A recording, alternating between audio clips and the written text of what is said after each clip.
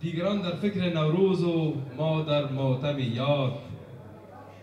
دیگران در فکر نوروز و ما در ماتم یار محرم صد شرف دارد از این عیدی که ما داریم.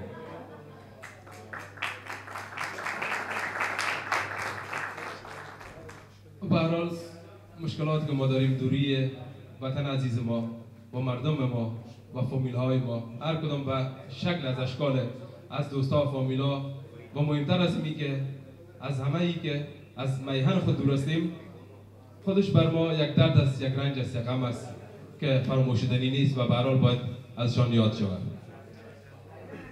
حالا از استاد گرامی و محترم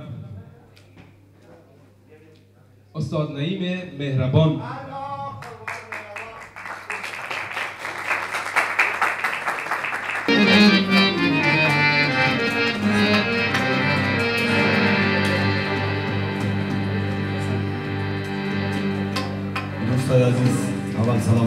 به کل شما بزرگوار و تقدیم است. از انانسر پروگرام جمشید جانم تشکر می‌کنم که با بسیار از من اضافه یاد کردن. میگه چیزی که عیان است چی حاجت به بیان است. خب از تشکر می‌کنم که زیاد از من تعریف کردن. اما شما کلتان یارا و دوستای هستید. خب پیش یارا و دوستا آدم به جرات یک گپ زدن می‌کنم تشکر از اینکه اضافه مرا زیاد تعریف کردن از معد حدودی که من خودم هستم از بالاتر تعریف کردن. تشکر. از احسان هم تشکر که این برنامه را اسپانسر شده و تقریبا زحمت تمام این برنامه را به دوش گرفتن. از این برادرم تشکر می‌کنیم. و از تمام شما دوستان که در این برنامه نشستین زحمت کشیدین تشریف آوردین شما هم تشکر. و ضمن این برادر ما ایمال جان مصطفی تو انتظار داریم که اگر زحمت نباشه خواهش می‌کنیم بیایم ما را در ارتباط با موسیقی از تارباب کیبورد کمک کنن. کمی تشکر.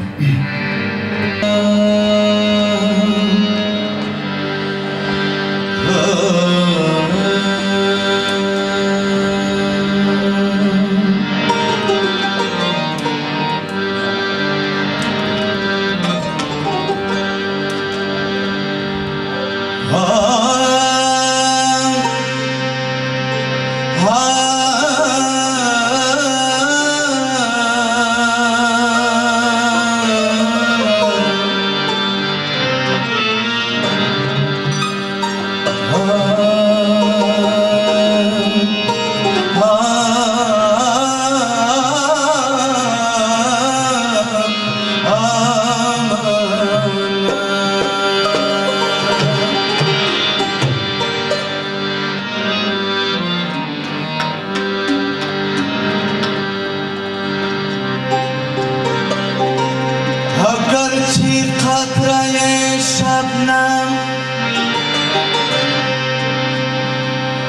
نکویست بر سر خاره